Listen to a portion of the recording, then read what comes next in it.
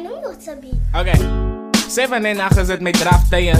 Maar voor die strek ik is mijn langkeiten. Ik kan hoe iemand roept aan mij. En toen ik opkijk, toen zit die neighbor wat hang buiten. Zij lijken je reeds, zij ze dan zaak. Ik wonder hoe gaan zij binnen de 20 kilo wind maken. Mijn pa vraagt, heeft zij nog een simkaart? Wanneer hij try hoe doen zij een simswap? Ik vraag hoe vaar heeft zij lust voor grappies? Zij was zeker nog in mijn punkie geklappie.